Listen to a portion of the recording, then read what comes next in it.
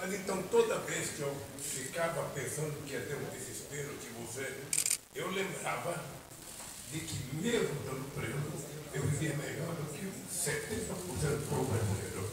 Eu comia, almoçava, jantava, eu mesmo fazia meu café, tomava café de boa qualidade. Excelente café, café. aviação que não tem mais por aqui, então para o Caetano. Eu fazia meu café, todo mundo gostava do meu café, o Rodney, além de tomar café, ele ia lá com o canidão e comia minhas bolachas.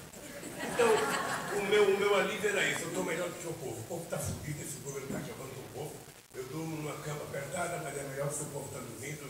Eu como a marmitinha de isopor, mas era melhor do que o povo estava comendo. Isso me alimentava. Me alimentava e eu acho que eu saí um homem melhor.